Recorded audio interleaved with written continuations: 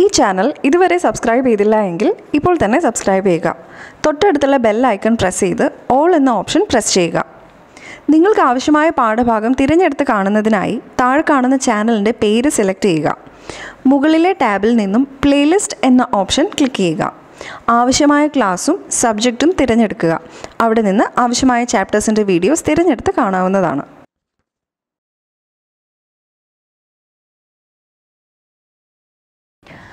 ആ സൈഡിൽ എഴുതിയിരിക്കുന്ന കീ പോയിന്റ്സ് കണ്ടല്ലോ? ഇത്രയും കാര്യങ്ങളാണ് നമ്മളിപ്പോൾ പഠിച്ചത്. ഇത്ര കാര്യങ്ങളെ നമ്മളിപ്പോൾ പഠിച്ചിട്ടുള്ളൂ. ഇനി നമ്മൾ വളരെ ഇമ്പോർട്ടന്റ് ആയൊരു കാര്യം നോക്കാൻ പോവാം. നമുക്കറിയാം ഡെൻസിറ്റി വെച്ചിട്ട് എപ്പോൾ ഒരു വസ്തു താഴേക്ക് സിങ്ക് ചെയ്ത് പോകും എപ്പോൾ ഒരു വസ്തു മുകളിലേക്ക് ഫ്ലോട്ട് ചെയ്ത് കിടക്കും. ഡെൻസിറ്റി വെള്ളത്തിനേക്കാളും കുറഞ്ഞത് ഫ്ലോട്ട് ചെയ്യും കൂടിയത് സിങ്ക് ചെയ്യും അല്ലേ? ഇതേ കാര്യം ഈ ബോയിന്റ് ഫോഴ്സിന്റെ ടേംസിൽ നമ്മളൊന്ന് പഠിക്കേണ്ടതുണ്ട്. കാരണം ബോയിൻ ബോയിന്റ് ഫോഴ്സിനെ കുറിച്ചാണല്ലോ നമ്മളിപ്പോൾ പഠിക്കുന്നത്.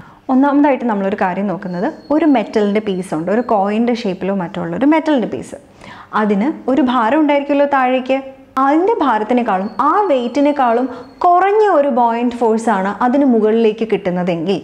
ഭാരം താഴേക്കുള്ളത് കൂടുതലും ആ വാട്ടർ മുകളിലേക്ക് കൊടുക്കുന്ന ബോയിന്റ് ഫോഴ്സ് കുറവുമാണെങ്കിൽ ഇന്നിഫെക്റ്റ് ആ ഒരു ബോഡിക്ക് എന്ത് സംഭവിക്കുന്നു? അത് സിങ്ക് ചെയ്ത് താഴേക്ക് പോകുന്നു. അല്ലേ? ഭാരം കൂടുതലും മുകളിലേക്ക് കൊടുക്കുന്നത് കുറവുമാണെങ്കിൽ അത് സിങ്ക് ചെയ്ത് താഴേക്ക് പോകുന്നു. അപ്പോൾ ബോയിന്റ് ഫോഴ്സിന്റെ ടേംസിൽ എപ്പോഴാണ് ഒരു ബോഡി സിങ്ക് ചെയ്യുന്നത്? വെയിറ്റ് കൂടുതലും ബോയിന്റ് ഫോഴ്സ് വെയിറ്റിനേക്കാളും കുറവാകുമ്പോഴാണ് സിങ്ക് ചെയ്യുന്നത്. അതായത് weight of the body greater than buoyant force ആണെങ്കിൽ സിങ്കിങ് സംഭവിക്കുന്നു. അതേസമയം ഒരു പ്ലാസ്റ്റിക്കിന്റെ ഒഴിഞ്ഞ കുപ്പി നമ്മൾ ആദ്യം എടുത്തതുപോലെ ഒഴിഞ്ഞ കുപ്പിയാണ് വെയിറ്റ് വളരെ കുറഞ്ഞതാണ്. അപ്പം ഒരു പ്ലാസ്റ്റിക്കിന്റെ ഒഴിഞ്ഞ കുപ്പി. അത് വെറുതെ ഇട്ട് കഴിഞ്ഞാൽ അത് ആ വെള്ളത്തിന്റെ സർഫേസിൽ ഫ്ലോട്ട് ചെയ്ത് കിടക്കും. നമ്മൾ കൈകൊണ്ട് ശക്തമായിട്ട് അതിനെ ആ താഴേക്ക് ഇച്ചിരി അങ്ങ് തള്ളി പിടിച്ചിരിക്കുകയാണെന്ന് വിചാരിക്കൂ. ആ ഒരു അവസരത്തിൽ അതിന്റെ വെയിറ്റ് എന്താണ്? അതിന് വളരെ കുറഞ്ഞ ഒരു വെയിറ്റ് അല്ലേ ഉള്ളൂ. ഒരു കുഞ്ഞു പ്ലാസ്റ്റിക്കിന്റെ ഒഴിഞ്ഞ കുപ്പിയാണ് അതേസമയം അതിൽ അനുഭവപ്പെടുന്ന ബോയിൻസി ഫോഴ്സ് ഇച്ചിരി കൂടുതലാണ് അല്ലേ? ബോയിൻസി ഫോഴ്സ് കൂടുതലും വെയിറ്റ് കുറഞ്ഞ ഒരു കേസ് അതായത് weight of the body less than buoyancy force ആണെങ്കിൽ നമ്മൾ കൈ എടുക്കുമ്പോൾ എന്താ സംഭവിക്കുന്നത്? അത് മുകളിലേക്ക് വരും. മുകളിലേക്ക് പോവുകയാണ് ചെയ്യുന്നത്. കാരണം ബോയിൻസി ഫോഴ്സ് കൂടുതലാണ് മുകളിലേക്കുള്ള പുഷിങ് കൂടുതലാണ് അത് മുകളിലേക്ക് പോകും. ഇനിയാണ് അടുത്ത മൂന്നാമത്തെ കേസ് എന്താണ്? ഇവിടെ സിങ്ക് ചെയ്യുന്നത് പഠിച്ചു മുകളിലേക്ക് പോകുന്നു താഴേക്ക് പോകുന്നു പഠിച്ചു. ഇനി എപ്പോഴാണ് ഒരു ബോഡി ഫ്ലോട്ട് ചെയ്യുന്നത്? ഫ്ലോട്ട് ചെയ്യുക എന്ന് പറഞ്ഞാൽ ഈ കേസിൽ ഈ ഒരു പെർട്ടിക്കുലർ കേസിൽ അത് ഫ്ലോട്ട് ചെയ്യുന്നില്ല അത് മുകളിലേക്ക് പോവുക ചെയ്യുന്നത് ഫ്ലോട്ട് ചെയ്യുന്ന എപ്പോഴാണെന്ന് അറിയാവോ?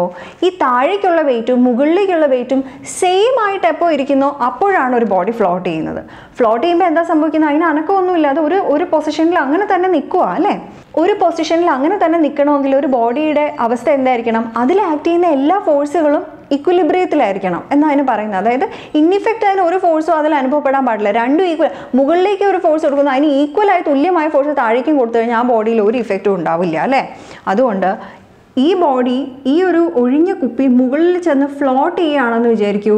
ആ ഒരു അവസ്ഥയിൽ അതിനുണ്ടാകുന്ന ആ കുഞ്ഞ് വെയിറ്റും അതിൽ കൊടുക്കുന്ന ആ ബോയിൻസി ഫോഴ്സ് ഒരു കുഞ്ഞ് ബോയിൻസി ഫോഴ്സും കൊടുക്കും. അതായത് weight is equal to buoyancy force ആവുന്ന കേസിലായിരിക്കും ആ ബോഡി ഫ്ലോട്ട് ചെയ്യുന്നത്. ഇത് വളരെ ഇമ്പോർട്ടന്റ് ആയൊരു കാര്യമാണ്.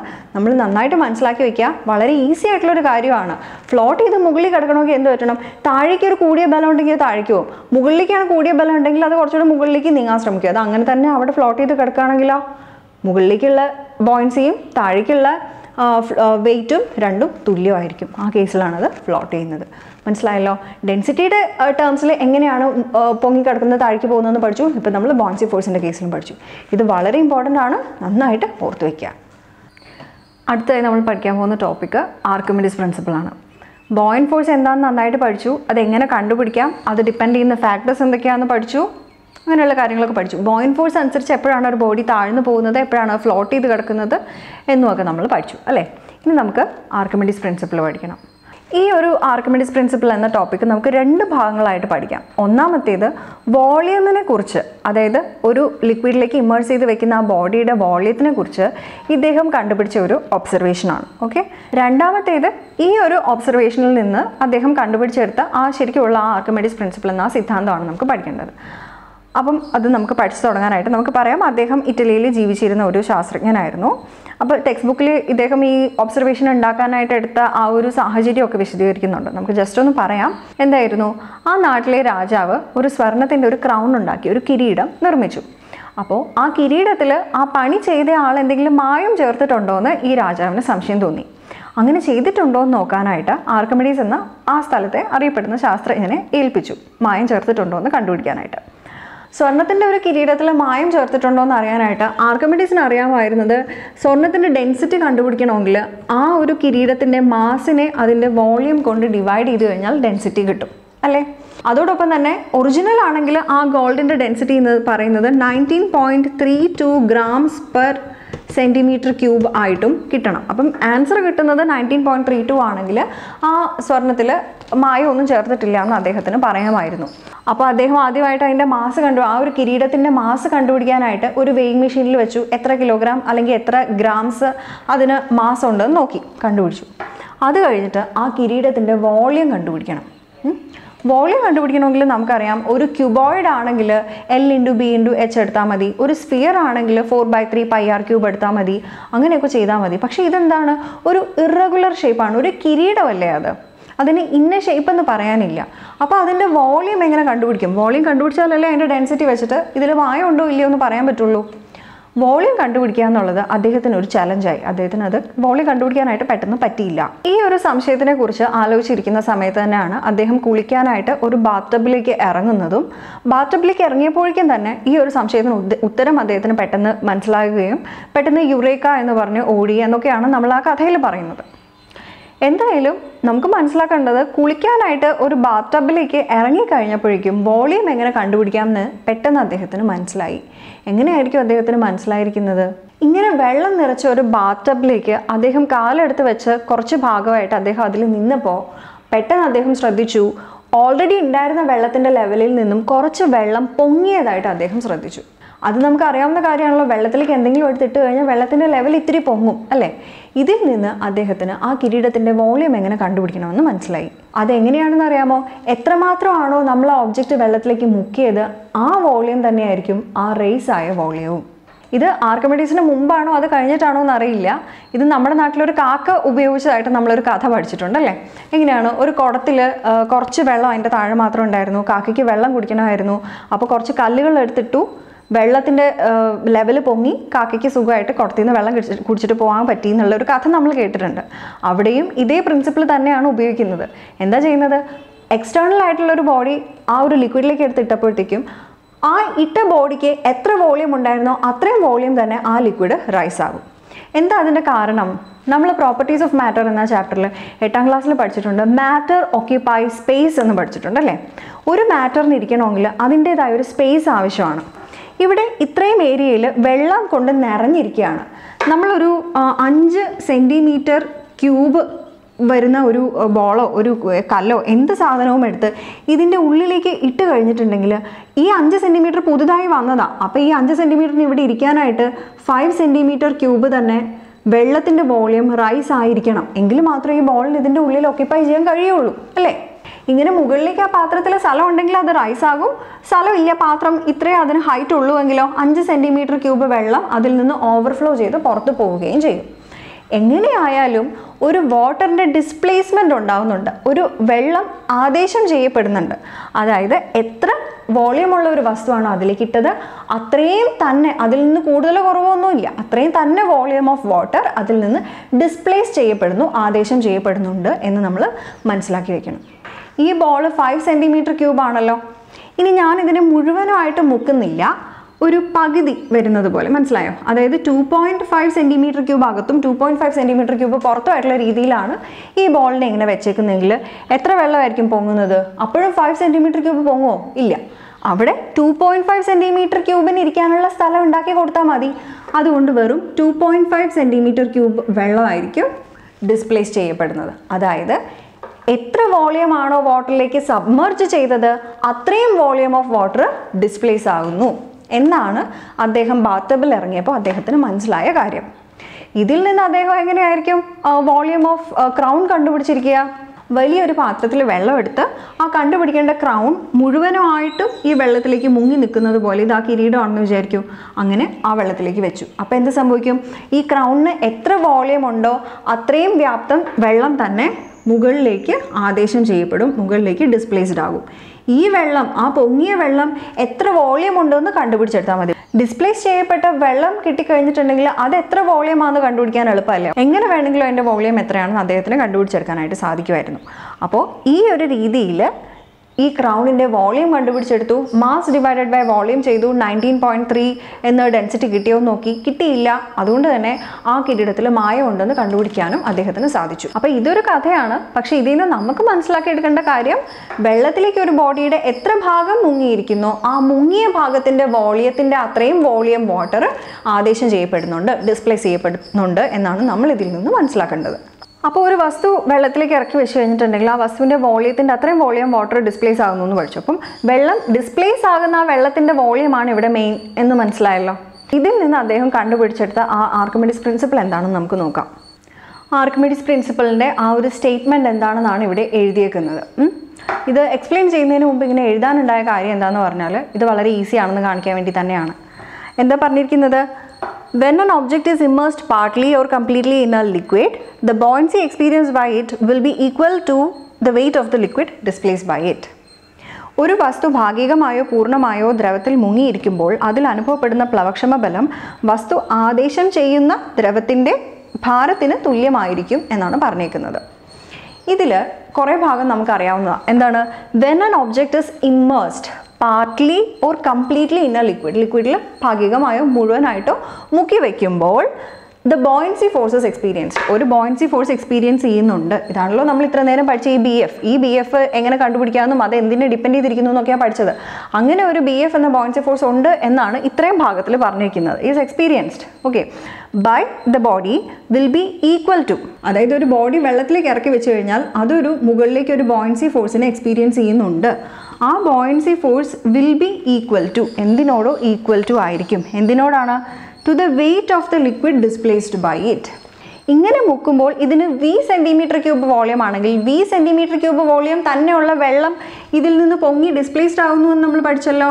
ഇത്രയും വെള്ളം അല്ലേ ആ വെള്ളത്തിന്റെ വെയ്റ്റിനോട് ഈക്വൽ ആയിരിക്കും. ആ വെള്ളത്തിന്റെ ഭാരത്തിനോട് ഈക്വൽ ആയിരിക്കും എന്നാണ് പറഞ്ഞേക്കുന്നത്. Buoyancy force is equal to weight of the displaced liquid അത്രേ ഉള്ളൂ കാര്യം. നമുക്കറിയാവുന്ന കാര്യങ്ങൾ തന്നെ. ഒരു കുഞ്ഞു കാര്യം മാത്രമേ ആർക്കമിഡീസ് പ്രിൻസിപ്പിൾ എക്സ്ട്രാ ആയിട്ട് നമ്മൾക്ക് പഠിക്കേണ്ടതുള്ളൂ. എന്താണ്? Buoyancy force is equal to weight of the displaced liquid വെള്ളത്തിലേക്ക് ഒരു ഒബ്ജക്റ്റ് ഇറക്കി വെക്കുമ്പോൾ ബോയിൻസി ഫോഴ്സ് അനുഭവപ്പെടുന്നുണ്ടെന്ന് പഠിച്ചു.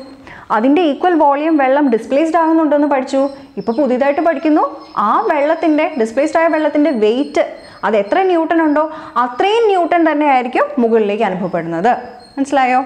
ഇതിലൂടെ ബോയിൻസി ഫോഴ്സ് കാൽക്കുലേറ്റ് ചെയ്യാനുള്ള രണ്ടാമത്തെ ഒരു മെത്തേഡാണ് നമ്മൾ പഠിച്ചേക്കുന്നത്. ഒന്നാമത്തെ നമ്മൾ എങ്ങനെയാണ് ബോയിൻസി ഫോഴ്സ് കാൽക്കുലേറ്റ് ചെയ്യാമെന്ന് പഠിച്ചത്? ലോസ് ഓഫ് വെയിറ്റ് എയറിലുള്ള വെയിറ്റ് നോക്കുക വെള്ളത്തിൽ മുക്കി വെക്കുമ്പോഴുള്ള വെയിറ്റ് നോക്കുക ഒരു കല്ലിന്റെ എന്നിട്ട് രണ്ടും കൂടെ സബ്ട്രാക്ട് ചെയ്ത് കഴിഞ്ഞാൽ എത്ര മുകളിലേക്ക് പുഷിങ് കിട്ടിയെന്ന് നമ്മൾ പഠിച്ചു. രണ്ടാമത്തെ രീതിയിൽ നമുക്ക് ബോയിൻസി ഫോഴ്സ് എങ്ങനെ കണ്ടുപിടിക്കാം? വെള്ളത്തിലേക്ക് മുക്കി വെക്കുക. എന്തുമാത്രം ഈക്വൽ അതിന് എത്ര വോളിയം ഉണ്ടോ അത്രയും തന്നെ വോളിയം ഓഫ് വാട്ടർ മുകളിലേക്ക് പോകും. ആ വോളിയം ഓഫ് വാട്ടറിന് എത്ര ഭാരമുണ്ട്? എത്ര ന്യൂട്ടൺ ഭാരം അതിനുണ്ടെന്ന് നോക്കുക. അത് എത്ര ന്യൂട്ടൺ ആണോ അത്രയും ന്യൂട്ടൺ ആയിരിക്കും മുകളിലേക്ക് പുഷ് ചെയ്ത് കൊടുക്കുന്ന ബോയിൻസി ഫോഴ്സ് അപ്പം നമ്മൾ ആർക്കമെഡീസ് പ്രിൻസിപ്പിളും പഠിച്ചു. ബോയിൻസി ഫോഴ്സ് കണ്ടുപിടിക്കാനുള്ള രണ്ടാമത്തെ മെത്തേഡും പഠിച്ചു. ഇപ്പോൾ ഈ പഠിച്ച ആർക്കമിഡീസ് പ്രിൻസിപ്പളിന്റെ പ്രൂഫ് കാണിക്കുന്ന അത് തെളിയിച്ച് കാണിക്കുന്ന ഒരു എക്സ്പെരിമെന്റ് നമുക്ക് ചെയ്യാനുണ്ട്. അത് നോക്കാം. അതിനായിട്ട് നമ്മൾക്ക് ഒരു സ്റ്റോൺ വേണം പിന്നെ ഒരു ഇരുമ്പിന്റെ ഒരു കട്ട വേണം. ഓക്കെ എന്തെങ്കിലും രണ്ട് മെറ്റീരിയൽ എടുക്കുക. എന്നിട്ട് ഇതേപോലെ ഇതേപോലെ ഒരു ഓവുള്ള ഓവർഫ്ലോ ചെയ്യുന്ന വാട്ടറിനെ പിടിച്ചു വെക്കാൻ കഴിയുന്ന രീതിയിലുള്ള ഒരു കെറ്റിൽ പോലെയുള്ള ഒരു പാത്രം എടുക്കുക. അതിലേക്ക് ഇത്രയും ഭാഗത്ത് വെള്ളം എടുക്കുക. നമ്മളെടുത്ത് ആ സ്റ്റോൺ അതിലേക്ക് ഇട്ട് വയ്ക്കുക അപ്പോൾ എന്ത് സംഭവിക്കും? സ്റ്റോണിന് എത്ര വോളിയം ഉണ്ടോ അത്രയും വോളിയം ഓഫ് വാട്ടർ ഇതിലേക്ക് വന്ന് വീഴും. ഓവർഫ്ലോ ചെയ്ത് വന്ന് വീഴും. ഇതല്ലേ സംഭവിക്കാൻ പോകുന്നത്? നമ്മളിപ്പോൾ പ്രൂവ് ചെയ്യാൻ പോകുന്നത് ആർക്കമെഡിസ് പ്രിൻസിപ്പിളാണ് ആർക്കമെഡിസ് പ്രിൻസിപ്പിൾ ഇത് ഇവിടെ നമ്മളുടെ കോൺസെപ്റ്റ് കീ പോയിന്റ്സ് എഴുതുന്നിടത്ത് നമ്മൾ എഴുതി buoyancy force equal to weight of the liquid displaced ഇതാണ് നമ്മളിപ്പോൾ ചെയ്യാൻ പോകുന്നത്. അപ്പോൾ ആദ്യമായിട്ട് നമുക്ക് ബോയിൻസി ഫോഴ്സ് എത്രയാണെന്ന് കണ്ടുപിടിക്കുക ഈ ഒരു കല്ലിന്റെ മുകളിലുള്ള ബോയിൻസി ഫോഴ്സ് ബോയിൻസി ഫോഴ്സ് കണ്ടുപിടിക്കണമെങ്കിൽ ആദ്യം വെയിറ്റ് ഇൻ എയർ എഴുതണമല്ലോ. എയറിലുള്ള അനുഭവപ്പെട്ട വെയിറ്റ് ആ സ്റ്റോണിന് എയറിൽ അനുഭവപ്പെട്ട വെയിറ്റ് ഒരു ടെൻ ന്യൂട്ടൺ ആണെന്നിരിക്കട്ടെ. സ്റ്റോണിന്റെ കാര്യമാണ് എഴുതുന്നത്. സ്റ്റോണിനെ നമ്മൾ വാട്ടറിൽ വെച്ചു. വാട്ടറിൽ വെയിറ്റ് എടുത്തു. ഇതേ സ്റ്റോണിന് വെള്ളത്തിൽ അനുഭവപ്പെട്ട വെയിറ്റ് എഴുതുക. എങ്ങനെ? സ്പ്രിംഗ് ബാലൻസ് വെച്ചിട്ടാണ് നമ്മൾ വെയിറ്റ് കാൽക്കുലേറ്റ് ചെയ്യുന്നത്. അത് ഒരു കുറവായിരിക്കുമല്ലോ. വെള്ളത്തിലേക്ക് വയ്ക്കുമ്പോൾ കുറവായിരിക്കും. അതൊരു സിക്സ് ന്യൂട്ടൺ ആണെന്നിരിക്കട്ടെ അങ്ങനെയാണെങ്കിൽ അവിടുത്തെ ബോയിൻസി എത്രയാണ്? ബോയിൻസി എന്ന് പറയുന്നത് ടെൻ മൈനസ് സിക്സ് അതായത് ഫോർ ന്യൂട്ടൺ ആയിരിക്കും അവിടെ അനുഭവപ്പെടുന്ന ബോയിൻസി ഈ എക്സ്പെരിമെന്റ് ചെയ്ത് നോക്കുമ്പോൾ ഇങ്ങനെ ഓവർഫ്ലോ ചെയ്ത വാട്ടർ ഉണ്ടല്ലോ ഈ കല്ലിന് എത്ര വോളിയം ഉണ്ടോ അത്രയും വോളിയം വാട്ടർ തന്നെ ഇവിടെ കിട്ടും. ഈ വോളിയം ഓഫ് വാട്ടർ നമ്മൾ കൊണ്ടുപോയി നോക്കി അതിന് എത്ര വെയിറ്റ് ഉണ്ടെന്ന് നോക്കുക. അതും ഇതേപോലെ തന്നെ സ്പ്രിംഗ് ബാലൻസിൽ തൂക്കി നോക്കിയോ എങ്ങനെയെങ്കിലും നമുക്ക് അതിന്റെ വെയിറ്റ് എത്രയാണെന്ന് നോക്കുക. അതിന്റെ വെയിറ്റും ഈ ഫോർ ന്യൂട്ടന് ഈക്വൽ ആയിട്ട് ഫോർ ന്യൂട്ടൺ വെയിറ്റ് എന്ന് തന്നെ ഇതിന്റെ ഭാരം നമുക്ക് കിട്ടും. ഈ ഓവർഫ്ലോ ചെയ്ത വെള്ളത്തിന്റെ ഭാരം. ഇതിൽ നിന്ന് എന്ത് മനസ്സിലാക്കാം?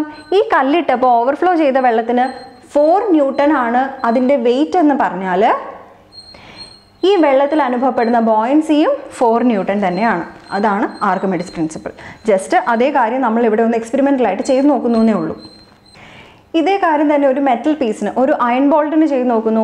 എയറിൽ വെച്ച് തൂക്കി നോക്കിയപ്പോൾ അതിന്റെ ഭാരം എന്ന് പറഞ്ഞാൽ ഒരു ട്വന്റി ന്യൂട്ടൺ ആണെന്നിരിക്കട്ടെ. വെള്ളത്തിലേക്ക് എടുത്ത് വെച്ചു സ്പ്രിംഗ് ബാലൻസ് വെച്ച് വീണ്ടും അതിന്റെ ഭാരം നോക്കി. എത്ര ഭാരമുണ്ട്? ഒരു ട്വൽവ് ന്യൂട്ടൺ ഭാരമേ കിട്ടിയുള്ളൂ. അപ്പോൾ അതിൽ എത്ര വ്യത്യാസം വന്നു? എയ്റ്റ് ന്യൂട്ടൺ വ്യത്യാസം വന്നു. അതായത് ബോയൻസി എന്ന് പറഞ്ഞാൽ എയ്റ്റ് ആണ്. ബോയൻസി കണ്ടുപിടിക്കുന്നത് ലോസ് ഇൻ വെയിറ്റ് ആണല്ലോ. അങ്ങനെ നമുക്ക് ബോയൻസി കിട്ടി.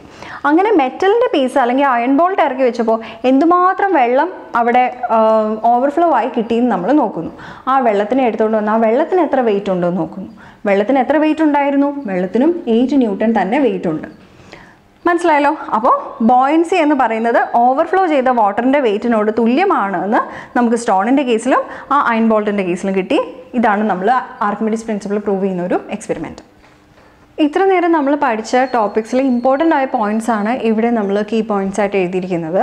അപ്പോൾ നോക്കുമ്പോൾ അറിയാം നമ്മൾ ഇമ്പോർട്ടന്റ് ആയ ഒന്ന് രണ്ട് കാര്യങ്ങൾ എഴുതാനായിട്ട് വിട്ടുപോയിട്ടുണ്ട്. ഒന്ന് ലാസ്റ്റ് എഴുതിയിരിക്കുന്നത് ആർക്കിമിഡീസ് പ്രിൻസിപ്പളിന്റെ ആ ഒരു ഫോമിലാണ് ഇവിടെ എഴുതിയിരിക്കുന്നത്. അതിനോടൊപ്പം തന്നെ ആർക്കിമിഡീസ് പ്രിൻസിപ്പിൾ പഠിച്ചു തുടങ്ങിയപ്പോഴത്തേക്കും നമ്മൾ പറഞ്ഞിരുന്നു ഒരു ബോഡി വെള്ളത്തിലേക്ക് ഇമ്മേഴ്സ് ചെയ്യുമ്പോൾ ആ ബോഡിയുടെ വോളിയം എത്രയാണോ ആ സെയിം വോളിയം ഓഫ് വാട്ടർ ആയിരിക്കും ഓവർഫ്ലോ ആയി ഡിസ്പ്ലേസ്ഡ് ആയി ആദേശം ചെയ്യപ്പെട്ടു പോകുന്നതെന്നും പഠിച്ചു. ആ ഒരു point volume of liquid displaced is equal to volume of body immersed എന്ന് നമ്മൾ എഴുതി ചേർത്തു. അതോടൊപ്പം തന്നെ എപ്പോഴൊരു ബോഡി സിങ്ക് ചെയ്ത് താഴേക്ക് പോകും എപ്പോഴത് ഫ്ലോട്ട് ചെയ്യുമെന്ന് നമ്മൾ ബോയൻ ഫോഴ്സിന്റെ അടിസ്ഥാനത്തിൽ എങ്ങനെ പറഞ്ഞു? വെയിറ്റ് ഓഫ് ദ ബോഡി കൂടുതലും ബോയൻ ഫോഴ്സ് കുറവാണെങ്കിൽ അത് താഴേക്ക് സിങ്ക് ചെയ്ത് പോകും. ഫ്ലോട്ട് ചെയ്യുന്ന എപ്പോഴായിരിക്കും? രണ്ട് വെയിറ്റും വെയിറ്റ് ഓഫ് ദ ബോഡിയും ബോൺസി ഫോഴ്സും ഈക്വൽ ആയിരിക്കുമ്പോഴായിരിക്കും ഇത് ഫ്ലോട്ട് ചെയ്യുന്നത്. അതും കൂടെ നമുക്ക് എഴുതാം. Weight of the body is equal to buoyant force ആകുമ്പോൾ ഫ്ലോട്ട് ചെയ്യുന്നു എന്നും നമ്മൾ എഴുതി ചേർത്തു.